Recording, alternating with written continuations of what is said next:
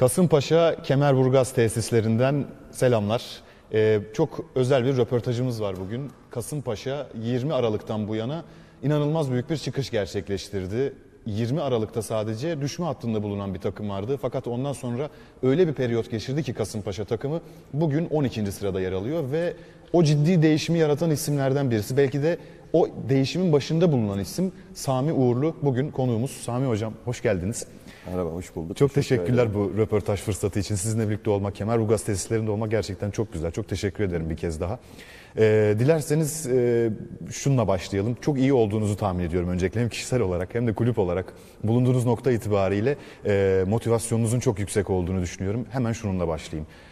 Öyle bir periyot geçirdi ki Kasımpaşa takımı Aralık ay- ayından bu yana bugün Ocak sonundayız ve çok başka bir noktadasınız. Ne değişti takımda? Nasıl başardınız? Ee, biraz bu periyodu konuşarak başlamak istiyorum.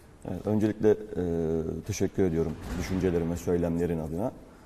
E, Kasımpaşa'da e, başladığımızda bundan yaklaşık 6,5 hafta önce e, zaten şöyle bir artıyla başlamıştık aslına baktığınızda. Takımı tanıyoruz. Bildiğimiz, e, bizim bulunduğumuz yer, e, bizim oyunculardan neler alabileceğimizi çok net şekilde biliyorduk. Oyuncuların bizden ne beklediğini, bizim oyunculardan da neler alabildiğimizi e, çok net bir şekilde e, sahaya e, koyduk ve daha öncesinde de zaten saha dışında başlayan e, bir birliktelik, bütünlük, beraberlik. Oyuncuların da aynı şekilde bize inanmaları, benim onlara çok fazla inancım var oyuncu baktığımda portföy adına. Çok doğru işler çıkardılar bize. Burada yine söylüyorum. Öncelikle sisteme ve bize çok fazla inandıkları için bu süreci aslında biraz daha e, kısalttık biz. Daha çabuklaştırdık. Biliyorduk bu başarının, bu serinin geleceğini. Ancak e, tabii bu kadar erken geldiğimiz dönemden bu yana oynadığımız 7 maç kupa maçını da sayarsak bunda 6 galibiyet bir beraberlik e, çok ciddi bir periyot. E, Oldukça baktığınızda başarılı bir periyot aslında. Ama tabii e, bu bir başlangıç bizim adımıza. E, Çok erken, daha yolun başındayız. Düzeltmemiz gereken de birçok şey var. Ama e, bu başlangıcı da çok e, küçümsememek gerekiyor. Ciddi bir başlangıç, iyi bir başlangıç. Oyuncuların e, çok ciddi şekilde istemeleri, coşkuları, arzuları ve inançları e, bu periyodun daha çabuk yukarıya e, çıkmasını sağladı bizim adımıza. Hocam stüdyodan gelen bir soru var onu da iletmek isterim size. Şimdi Süper Lig'de bu sezon itibariyle 5 maç üst üste kazanan sadece 3 takım var. Trabzonspor, Başakşehir ve Kasımpaşa ve 3 büyükler olarak adlandırdığımız Fenerbahçe, Galatasaray, Beşiktaş bunu başaramadı şimdiye kadar. Siz nasıl başardınız? Stüdyodan gelen soru bu. Özellikle merak ediliyor. Şöyle, e, şimdi buradaki maç periyoduna baktığınız zaman aslında biz maçlara tek tek e, hazırlandık. E, Öyle e, hem taktiksel hem de fiziksel yönde hem de mental olarak oyuncularımızı tek maç üzerinden e, motive ettik her maça. Gücümüzü biliyorduk. Ortaya neler koyabileceğimizi biliyorduk. Bu özellikle bizim çok fazla önem verdiğimiz bu taktiksel periyotlamalarla alakalı iyi bir süreç geçirdik aslında kendi adımıza. Oyuncuların nedir taktiksel periyotlar? Oyuncuların fiziksel anlamda ve e, bireysel özellikleriyle bize ne verebileceklerini, hangi oyun formatında neye ulaşacağımızı biliyorduk. E, Bunun üzerinden ilerledik biraz daha. Ki bu da e, oyunculardan alacağımızı bildiğimiz sistemle birlikte ilerlediğimizde ve tek tek düşündüğümüzde her maçın farklı bir senaryosu vardı aslında kafamızda. Bu senaryoyu, kurguyu öncesinde çok iyi oynadığımızı düşünüyorum. Tabii bu kurguyu sizin tek başınıza dışarıda oynamanız e, çok fazla yeterli olmuyor. Tabii oyuncuların buna sahaya yansıtması gerekiyor. Bu kurguya uymaları gerekiyor. Ki gerçekten de inanılmaz özveriyle, e, inanılmaz inançla birlikte bunu sahaya yansıttılar. Bunlar da evet zor maçlar özellikle baktığınızda e, Altay maçı sonrası çok iyi geçen bir Altay maçı. Altay maçı sonrasında yine e, Hatay ile oynadık. Çok güçlü bir takım, özellikli bir takım. Onlarla oynadığımız maç arifesinde iki tane deplasmanımız vardı bizim. Giresun ve Galatasaray deplasmanları. Bunlara da aynı şekilde e, tek maç olarak bakıp e, maçlara özellikle dikkat ettiğinizde çok hızlı ve iyi başlangıçlar yapıyoruz Çikuru. Maçlar başladığında e, lehimize çevirmeyi başardık bu maçta. E, tabii bununla birlikte de e, yani o duygu, coşkuyu 90 dakikaya yayarak tüm maçın özellikle e, son 5 maçın sonuna kadar çok iyi oynadığımızı düşünüyorum. Sadece puan olarak bakmıyoruz biz buna. Tabii puanla birlikte bizim ortaya bir karakter koymamız gerekiyordu. Bir oyun koymamız gerekiyordu. Bir planı ortaya dökmemiz gerekiyordu. E bunu ortaya koyduk. 90 dakikaya yaymaya çalıştık. Zaman zaman düştüğümüz maçlar da oldu. E, baktığınız zaman hem fizik olarak hem oyun olarak. Ama işte o zaman beraber hareket etme duygusu, aynı şeyi düşünme, aynı şeyi paylaşma ve hani bir bütün olmayı başarabildik diye düşünüyorum. E tabii bu duyguyu, bu yüreği e, oyun disiplini, taktik ve kurguyla birleştirdiğimizde ister istemez e, o başarı e, kısa sürede gelmiş oldu. Hocam takımınızda tabii aslında ön plana çıkan çok oyuncu var ama ben özellikle 3 isimle ilgili görüşlerinizi merak ediyorum. Birincisi Donk, çok ciddi bir tecrübe. Ee, onun liderliğini nasıl yorumlayacaksınız merak ediyorum. İkincisi Umut Bozok, Ee, gollerine çok ciddi anlamda devam ediyor ve sanki devam edecekmiş gibi de görünüyor. Üçüncüsü de Eren Elmalı. Çok ciddi bir çıkış yakaladı o da. Bundan sonra onun potansiyeliyle ilgili çok fazla yorumlar yapılıyor. Çok fazla beğeni topluyor kamuoyunda. Bu üç isimle ilgili Donk, Umut ve Eren'le ilgili görüşlerinizi merak ediyorum. Evet, e, üç isimle ilgili e, birçok defa soru alıyoruz zaten. Çok ön plana çıkan üç oyuncumuz ama bu sadece üç oyuncuyla sınırlı değil. E, Bunu da şimdi Donk'la başlayacak olursak, Donk'un baktığınız zaman zaten saha içi liderliğini görebiliyoruz. Saha içinde ortaya koyduğu mücadeleyi, coşkuyu, zaman zaman sadece bunu söylemde yapabilen liderler görüyoruz. Ama Donk e, söylemini pratiğe dökebilen, sahada uygulayabilen ve uyguladıklarıyla takım arkadaşlarına örnek olabilen bir e, aslında baktığınız zaman karakter. E, Bunu doğru yansıttığında da genç oyunculara çok ciddi şekilde örnek oluyor ki performansı hem saha içi performansı çok iyi hem de baktığımızda skora da çok katkı veren bir oyuncu. Antalya maçında attığı asistle yaptığı işte daha sonra attığı iki golle skor anlamında da takıma ciddi katkı verdi. Ama oyun olarak da e, takıma çok katkı veriyor. Ama bu sadece saha içinde değil, Donk'un saha dışında da aslında bir lider özelliği var. Ee, arkadaşlarıyla uyumu, iletişimi, birlikteliği bu başlangıcın e, temel nedeni aslında sebebi. E, Buradan başlayan birliktelik ve e, örnek karakter saha içine de yansıdığında e, hem kendi başarısı hem kendi performansı yukarıya çıkıyor hem de e, oyunculara aynı şekilde gösterdikleriyle yaptığı pratiklerle örnek olarak e, ciddi bir seviyeye kendisiyle birlikte taşımaya yardımcı oluyor Don. Diğer taraftan Umut Bozok'a geldiğimizde Umut Bozok'un çok ciddi bir performansı var. Yani Umut Bozok'un e, ciddi hedefleri var bir defa. Bizde de birlikte biraz daha yukarıya çıktı. Evet Umut'un golcü özelliğini biliyoruz zaten. Umut'un Fransa 2'de de gol krallığı var. E, gol vuruşlarında çok etkili. Ama bizde şunu görüyorsunuz Umut Bozok'ta. Umut Bozok sürekli oyun içinde olan bir oyuncu. Sadece gol vuruşuyla evet attığı 11 gol, yaptığı 6 asist. Onun yanında sürekli oyun içinde olan, ciddi mesafelere ulaşan bir santraforun 12 kilometre ortalamalarda e, total mesafeye baktığınızda çok ciddi bir e, metreler aslında. Hem de yüksek şiddeti, sprinti e, çok yukarılarda Umut'un. Umut sürekli oyun içinde olan, hem arkadaşlarına pozisyon hazırlayan hem de kendi çok isteyen, pozisyona giren, sürekli e, atmayı düşünen ve attırmayı düşünen, sadece kafasında gol atmak değil, e, skora her anlamda katkı vermek var Umut'un. Bireysel hedefleri de var tabii. Gol kralı olmak da mesela bunlardan birisi mi sizce? E, muhakkak şimdi her oyuncu gol kralı olmak ister tabii ki de. Ama şurada değil mesela baktığınızda e, bir hafta önce Giresun maçında 1-0 öndeydik rakip 10 kişi. ikinci penaltı olduğunda Umut Florent Adarjona'ya bıraktı Evet. penaltıyı. Yani bu bunun aslında ne kadar doğru ve büyük bir karakter olduğunu gösteriyor, ortaya koyuyor. Yani sadece gol krallığına odaklanan bir oyuncu bunu yapmaz. Ama Umut gol krallığını e, düşünmekle birlikte e, takımını ve arkadaşlarını daha çok düşünen, daha çok şey ortaya koymak isteyen ve daha yukarıları çıkacağını düşündüğüm oyunculardan bir tanesi.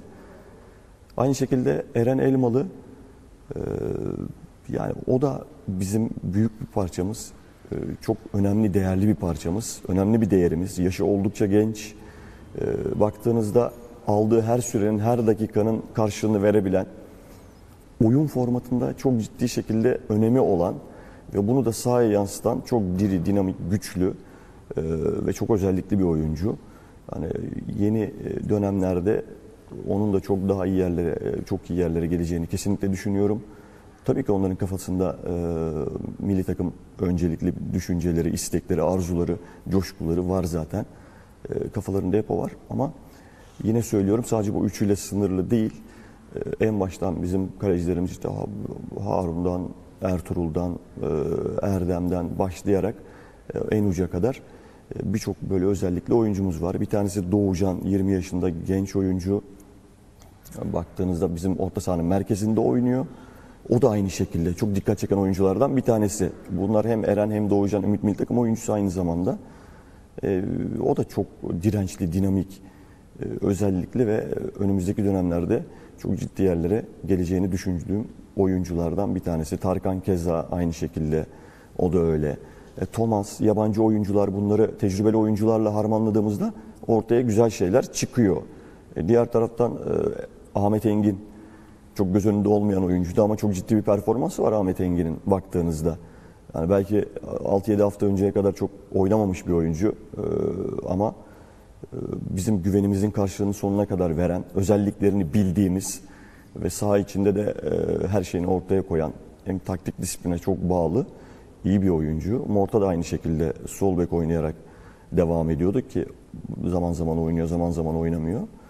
Ama e, yine o da bu periyot içerisinde sağ ön oynadı, sol ön oynadı. Ön bölgede hem skora hem oyuna ciddi katkısı olan oyunculardan bir tanesi. Yine söylüyorum birçok isim var. Florent Adarjonay, Haris Ayredinovic bunlar unuttuğum yine Donku e, aynı şekilde. Bu bütün olduğumuzda zaten başarı geliyor. İşte bu parçaların eksilmemesi için daha üzerine koymak için çalışmalar yapmamız gerekiyor. Tabii ki yine söylüyorum eksiklerimiz var, düzeltmemiz gereken yönlerimiz var. Ama e, işte bunun için de zaman, zamanımız var, E, çalışıyoruz. İyi başlangıçla birlikte üzerine koyarak da devam etmek istiyoruz tabii bu periyoda. Transfer dönemindeyiz hocam malum. Ee, ayrılması beklenen oyuncular var mı? Ve aynı zamanda e, takıma katmayı düşündüğünüz isimler elbette vardır. Hangi mevkilere oyuncular bakıyorsunuz? Ee, bununla ilgili de belki bir ipucu alabiliriz sizden. Şöyle e, Mamadou Fall bize dahil oldu biliyorsunuz. Son 3 maç görev aldı kısa da olsa. E, onunla birlikte e, tabii ki dahil olacak oyuncular vardır ama e, tabii burada Sayın Serkan Reçber'in e, transfer çalışmalarını e, sürdürdüğünü biliyoruz. E, zaten kendisi e, çok fazla biliyorsunuz hem takımın ihtiyaçlarının net olarak bilincinde biliyor, e, gözlemliyor. Buna göre çalışmalarını yapıyor. Ama e, dediğim gibi oradaki tek yetkili bakıyorsunuz yine Serkan Reçber doğrultusunda bu süreç devam ediyor. Hocam bundan sonrası için, ligin geri kalanı için nasıl bir Kasımpaşa bizi bekliyor? Hem bunu merak ediyorum hem de e, genç bir antrenörsünüz. Kişisel olarak e, hayalleriniz, hedefleriniz mutlaka vardır. Hem kulübün geri kalan sezonunu hem de kişisel olarak hedeflerinizi çok merak ediyorum açıkçası. Evet. e, yani önümüzdeki süreçle alakalı öncelikle kulüp ve takım adına konuşursak e, tabii ki hedeflerimiz var, hayallerimiz var, düşüncelerimiz var. Kupada devam ediyoruz. E, baktığınız zaman yukarıyla aramızdaki puan farkı aslında çok fazla değil. Düşünüyorsunuz, bunun hayalini kuruyorsunuz. Önce kurgulamak ve hayal kurmak ve e, çalışarak bunu e, ortaya çıkarmak gerekiyor. Ama bir de gerçekçi olmak lazım, realist olmak lazım. Küme düşme hattıyla aramızda 3 puan var. Şimdi öncelikle yukarının hayalini kurmak, hedefini belirlemek için öncelikle aşağıdan kurtulmamız gerekiyor. İlk hedefimiz aşağıdan tamamıyla kurtulup e, yukarıya tırmanmak. Tabii ki zor periyot. Her maç zor. E, şimdi önümüzde 4 tane maçımız var. Trabzon deplasmanı, Alanya Spor, Konya deplasmanı, Fenerbahçe. Sonrasında da yine aynı şekilde bu periyot devam ediyor ama e, öncelikle puan olarak ve sıralama olarak aşağıdan kurtulduğumuzda yukarıdaki hedefleri daha net belirleyebiliriz aslında. Ama yine söylüyorum realist olmak gerekiyor. Öncelikle aşağıdan kurtulmamız gerekiyor. Ee, Diğer taraftan bireysel hedeflere geldiğinizde tabii e, buradaki e, benim bulunduğum konum gerçekten benim e, çok istediğim, çalışmayı çok istediğim bir konum. Çok değerli bir kulüpteyim. Ee, Çok iyi imkanlarda çalışabileceğim, kendimi geliştirebileceğim ki en çok benim aslında kişisel hedeflerim kendimi geliştirmek ilk başta. Her anlamda kendimi geliştirebilmek. E, Bu da e, bu kulüplerin başında geliyor Kasımpaşa Kulübü. E, Bu anlamda her imkanı var. Hem kendimi hem de kendimi geliştirdikten sonra da onunla birlikte oyuncuların da gelişimini sağlamak. Ama tabii sürekli yani bir Z kuşağı geliyor biliyorsunuz. Yani o kadar teknolojinin ön planda olduğu, değişen o kadar şey var ki futbol da aynı şekilde sürekli gelişiyor ve değişiyor futbol. İşte buna ayak uydurmak lazım aslına baktığınızda. Şimdi buna ayak uydurabilmek için de kendini geliştirmen gerekiyor. E kendini geliştiremediğin zaman e, buranın dışında kalabiliyorsun. Kalabilirsin de. Kalacaklar da olacaktır muhakkak. Ki e, bu dışarıda kalanların yerine de çok genç yeni antrenörlerimiz, teknik direktörlerimiz geliyor. İlhan Palut'un yaptıkları ortada. İşte aynı şekilde Francesco e, çok iyi gidiyor. Ömer Erdoğan aynı şekilde. E, Yani e, bakıyorsunuz Maestro iyi gidiyor. Yani burada kendini geliştiren, e, gerçekten hedefine ulaşmak isteyen, e, çok fazla çalışan ayakta kalacaktır diye düşünüyorum. En başta benim kişisel hedefim bu. Ayakta kalabilmek, kendimi sürekli geliştirebilmek. Sonraki planlar tabii bizi nereye götürür? O süreci gözlemlemek gerekiyor. Hocam son olarak tabii e, Türk futbol kamuoyu sizi Kasımpaşa ile birlikte tanıdı ama aslında sizin çok ciddi bir antrenörlük geçmişiniz de var. E, benim şöyle bir hem sizinle sohbetlerimizden hem de biraz yaptığım araştırmalardan gördüğüm en önemli nokta orada Altın Ordu altyapısı. Çok uzun süre orada çalıştınız. Çok önemli e, altyapı turnuvalarında bulundunuz. O tecrübeler bugün baktığınız zaman size ne kattığını görüyorsunuz. Belki biraz o dönemlerden bize bahsedebilirsiniz. Evet. Şöyle, e, Altınordu Akademisi'nden yetiştim. Evet, ben oraya akademi mezunu olarak görüyorum kendimi. Bir üç buçuk dört sene civarında orada görev yaptım. Alt yaş kategorinde teknik sorumlu olarak. E tabi burada çok fazla tekrar yapma şansımız oluyor. E, çok fazla deneme şansınız oluyor. E, çok ciddi turnuvalarda e, boy gösteriyorsun. Belki dünyanın en iyi akademilerine karşı işte birçok defa işte Barcelona, Real Madrid, Bayern Münih, Liverpool aklınıza hangi takım gelirse birçok defa bunlara karşı oynadık. Ve e, bu ciddi bir tecrübedir aslında bence. Şimdi burada e, teknik sorumluluk yaptığın zaman orada çalıştığın oyuncuların kalitesiyle birlikte bu denemelerle birlikte sürekli kendini geliştirmek zorundasın ve geliştiriyorsun. Bunun çok ciddi rolü olduğunu düşünüyorum. E, hem öz disiplin olarak hem de e, antrenman ve maç tecrübesi olarak. Ama e, tabii burası biraz daha farklı. E, Kasımpaşa'ya geldikten sonra da aynı şekilde e, olabildiğince devam etmeye çalışıyorum ve çalışacağım bundan sonra da. E, buradaki süreçte bana çok şey kattığını düşünüyorum. E, yine söylüyorum e, hem takım olarak hem bireysel olarak daha çok e, kat edeceğimiz yol var. Bu kat edeceğimiz yol zor. Gerçekten zor şartlarla karşılaşabiliriz, karşılaşacağız da ama biz bunu hazırız. Buraya gelirken de, bu şans bana gelirken de ben her anlamda, her an hazır olarak geldim ve o şekilde başladım. İnanarak, e, tecrübe ederek, o e, sağ içi ve sağ dışı tecrübelerini biriktirerek gelmeye çalıştım. Yani tabii hiçbir başarı tesadüf olamaz, değildir. Ben kesinlikle böyle düşünüyorum. Ee, şunu da düşünüyorum tabii maçlara baktığınızda çok iyi gidiyoruz. Maç kaybetmeyecek miyiz? Tabii ki kaybedebiliriz. Ama şu anki sürece baktığınızda, oyuncuların performansına baktığınızda, ekibin performansına baktığınızda sezonu kaybedecek gibi durmuyoruz. Bunun için de elimizden geleni yapacağız. Bu tamamıyla bir ekip çalışması. Bu her anlamda buradaki bulunan sağlık ekibinden, doktorumuzdan, diyetisyenimizden, işte ne bileyim orada bütün çalışanlarından, masöründen, malzemecisinden herkesin ciddi emeği olan bir süreç bu. Ee, Bu bütünlüğü yakaladık biz.